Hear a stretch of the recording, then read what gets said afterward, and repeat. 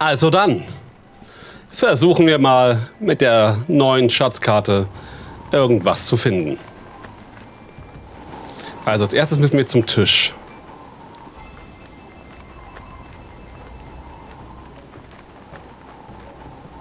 Hm. Ich starte mal von der gruseligen Hütte aus. Und dann suche ich den, äh, den steinernen Tisch.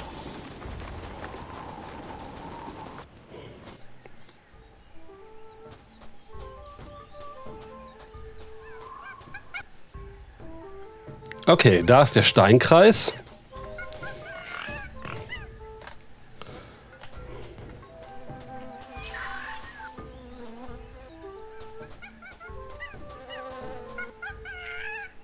Hm, ich glaube, ich bin im Kreis gelaufen.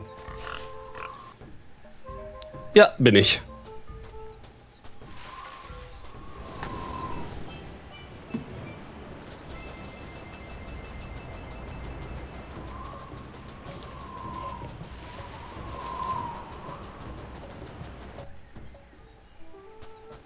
Okay, ich muss zum steinernen Tisch.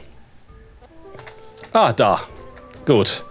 Dann äh, äh, die Karte auf den Tisch legen.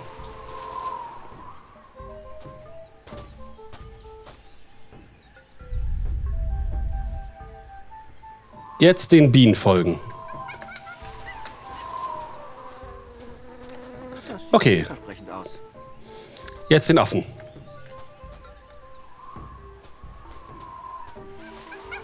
Also da lang. Jetzt den Wind fragen.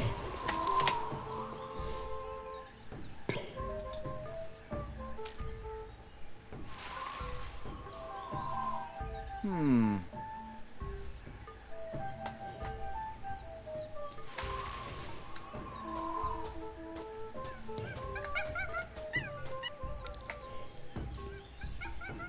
Okay. Jetzt Blumen da rein. Blumen. Ah, Blumen.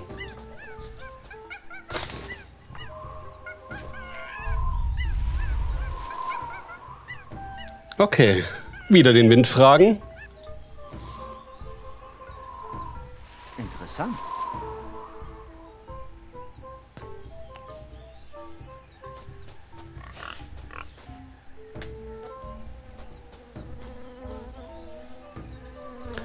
Den Bienen folgen.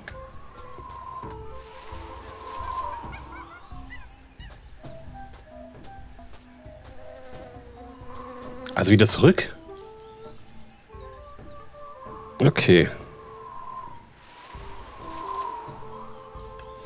Jetzt wieder den Wind fragen. Ich verstehe. Also hier lang. Nee, da lang. Soweit, so gut. Und jetzt irgendwas mit dem Dingsbums machen. Hm, wenn ich dem glaube, ist heute Sonntag, der 12. Seku. Es hat eben geglüht, oder? Muss ich das jetzt wieder normal, nochmal machen? Hm, wenn ich dem glaube, ist heute Sonntag, der 12. Seku. Hm.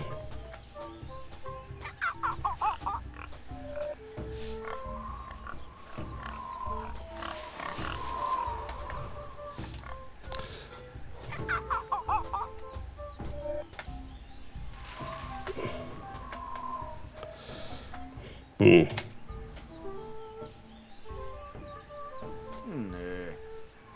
Okay, was muss ich jetzt damit machen?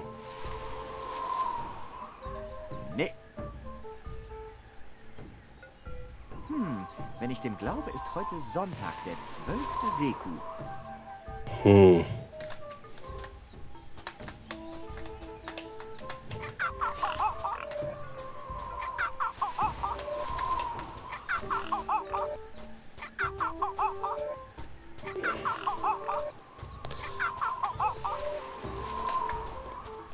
Muss ich da irgendwie rumlaufen? Andere Richtung? Ah, jetzt ist gelb geworden.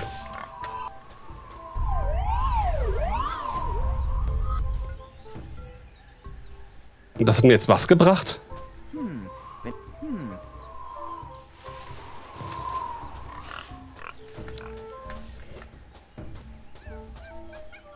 Was hat mir das jetzt gebracht? Es ist grün geworden. Jetzt sehe ich da eine Linie. Verflixt. Das sieht vielversprechend aus. Was muss ich jetzt mit dem Ding machen? Okay. Fehlt mir noch irgendwas?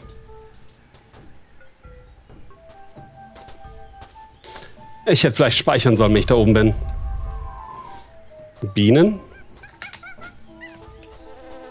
So weit, so gut. Affen? Das sieht vielversprechend aus. Den Wind wieder fragen?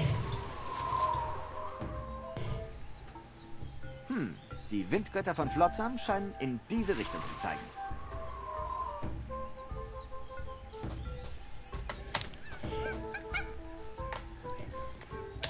Blumen da rein?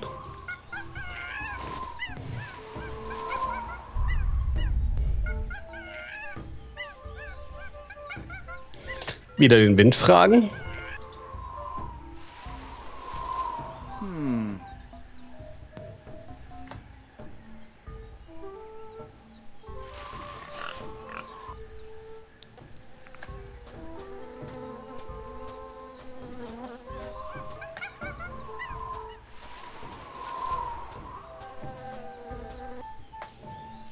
So gut. Okay. Wieder den Wind fragen? Interessant.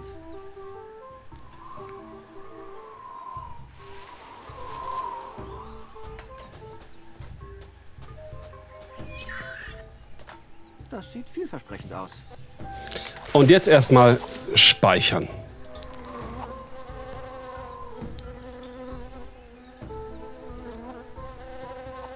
Okay.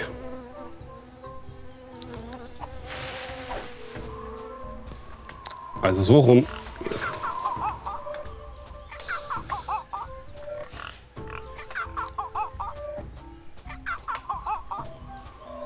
Andersrum.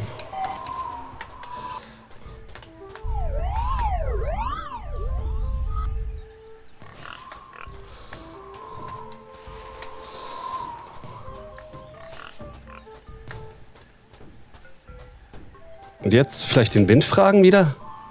Ich gucke mal die Karte an. Stellen diese Zeichnungen den Winter?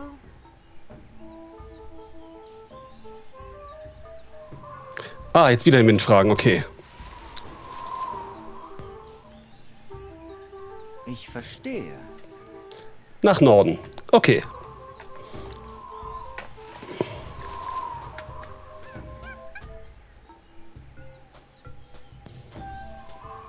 Wow. Oh, oh, jemand kommt.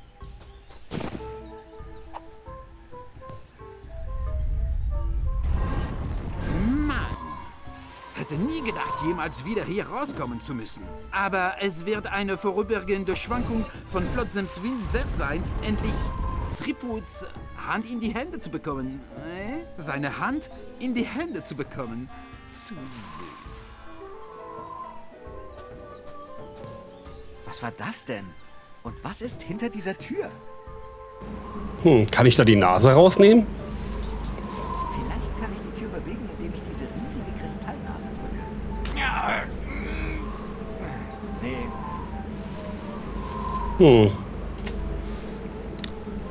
Mhm, mhm. Ah, ich könnte die Kristallnase zum Zerplatzen bringen.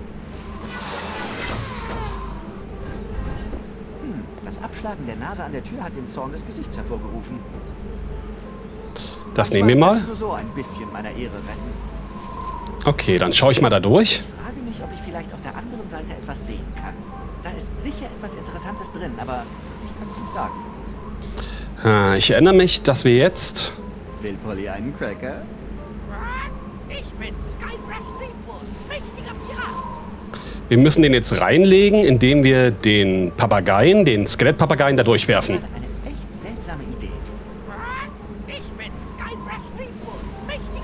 Ich habe einen Auftrag für dich, kleiner Papagei. Geh auf die andere Seite dieser Tür und öffne sie von der anderen Seite. Ich bin Skybrush Threepwood, mächtiger Pirat. Okay, kleiner Champion, öffne die Tür. Dummer Vogel. Ich bin Skybrush Threepwood. Und trotzdem hat er etwas so Charmantes. Hm. Ich muss irgendwie den Dings zu mir locken.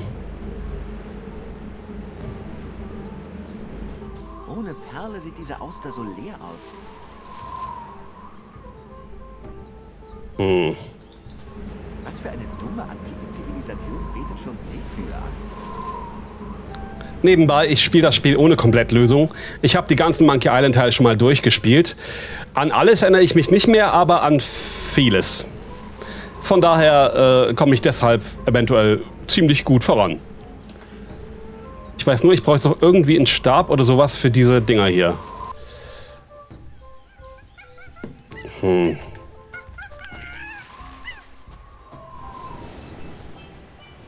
Gibt's bei der Voodoo Lady den Stab?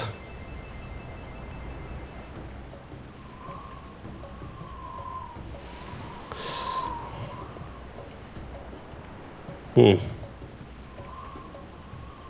Wo hat sie denn? Da, gruselige Hütte.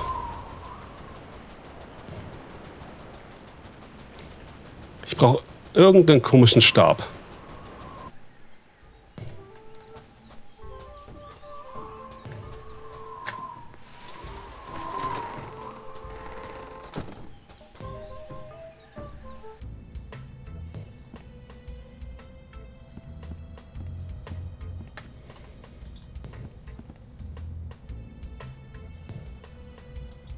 Warum sagst du mir denn nicht, dass man mit Grog die Symptome der Pocken lindern kann? Grog? Grog wird LeChucks Pocken nicht heilen können. Damit wird es nur noch schlimmer. Wie kann denn Grog irgendetwas schlimmer machen? Jetzt mag deine Hand sich gut anfühlen. Aber wenn sie wieder erwacht, wird sie garstiger sein als je zuvor.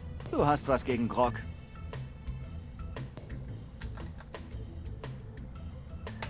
Weißt du etwas über den Marquis de Singe? Ich vertraue dem Mann nicht. Und verstehen tue ich ihn schon gar nicht. Er hat versucht, mir die Hand abzutrennen. Das überrascht mich keineswegs.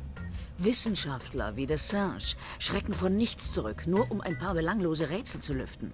Nur das Schicksal weiß, was er dieser armen Insel und seinen Bewohnern angetan hat. Hm. Wie bist du auf Flotsam Island gelandet? Ich gehe dahin, wo ich gebraucht werde.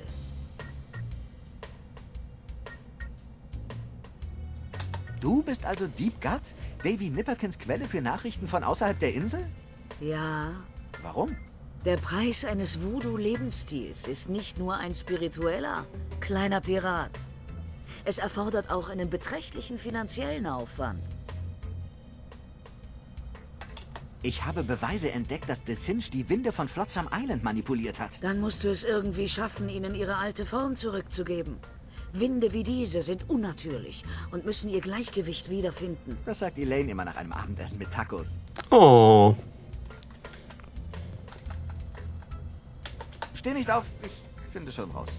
Alles Gute, Threepwood. Hm.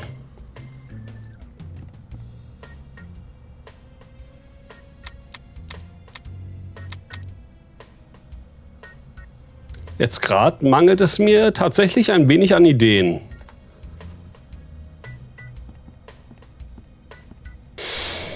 Hm. Habe ich etwa schon alles im Inventar, was ich brauche? Antikes Türgesicht. Hm. Käserad. Äh, Medaillon. Ich mach das Medaillon mal Wenn ich auf. jemals diese blöde Insel verlassen kann und Elaine wiederfinde, werde ich diesen Dekava aufspüren, damit ich La Esponja Grande finde. Okay, das hat mir jetzt nicht sehr geholfen, aber es war ein schönes, äh, schönes Foto, schätze ich.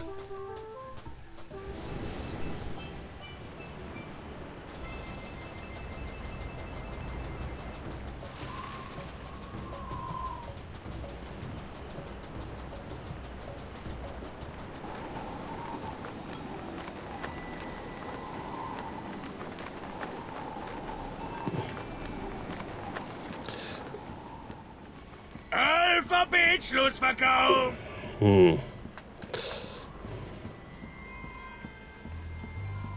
Doc?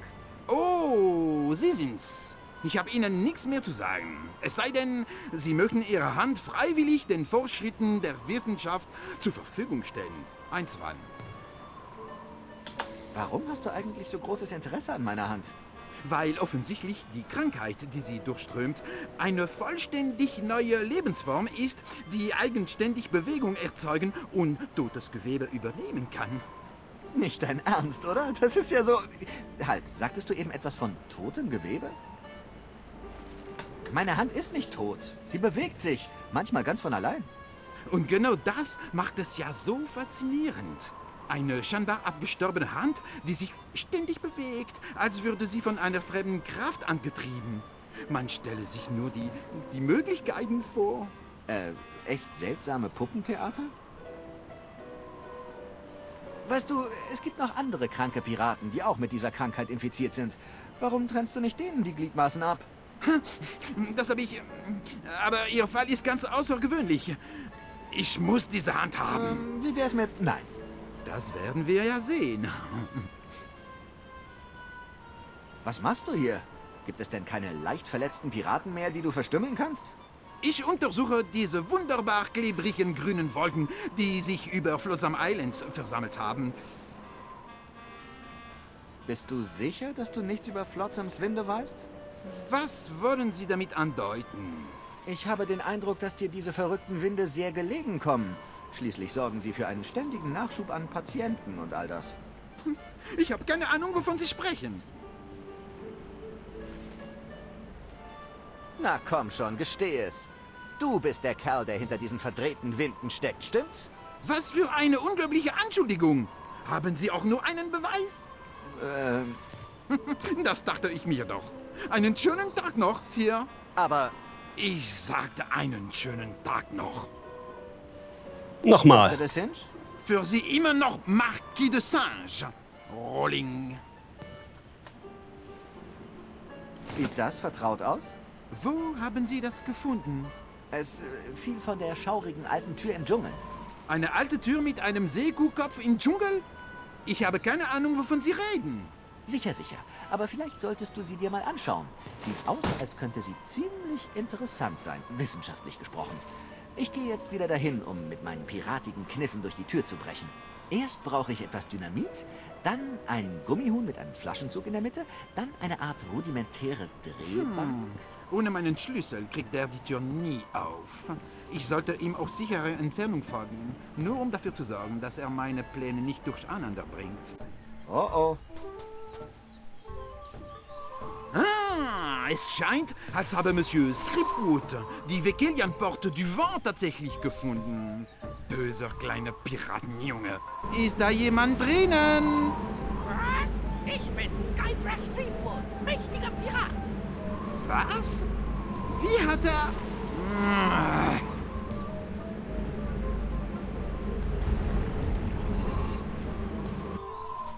Ich kann nicht glauben, dass er darauf reingefallen ist. Das könnte nützlich sein. Wer ist der schlauste Pirat auf der ganzen Welt? Ich bin Skybrush Threepwood, mächtiger Pirat. Heilige Kanonenröhrchen. Sripwood. Gut gemacht, Monsieur Sripwood. Sie haben mich gezwungen, den Ort des versteckten Tempels zu enthüllen. Aber ein Einfallspinsel wie Sie wird ohne meine Hilfe nie herausfinden, welcher dieser Windgötter beschworen werden muss, um dieses antike Windsteuerungsgerät zu beherrschen. Und ich sage nichts. Das ist ein Windsteuerungsgerät? Danke. Das wussten Sie nicht? Hm. Ich sehe schon, es wird Zeit, dass der Marquis die Angelegenheiten selbst anpackt. Hm. Sonderbar. Was haben wir hier? Ohne Perle sieht diese Auster so leer aus. Ich steck mal den Schlüssel rein und guck, was passiert.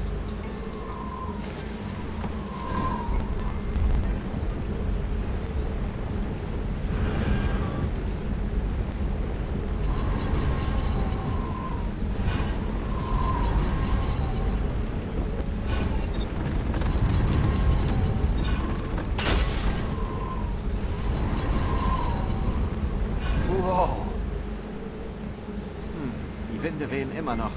Ich muss wohl einen antiken Windgott beschwören. Ob mit dieser Götterstatue wohl Windgötter beschworen werden können? Ja. Und den Gott des heißen, stinkenden Windes, den beschwören wir dann in der nächsten Folge. Also, Nase zu und durch. Tschüss.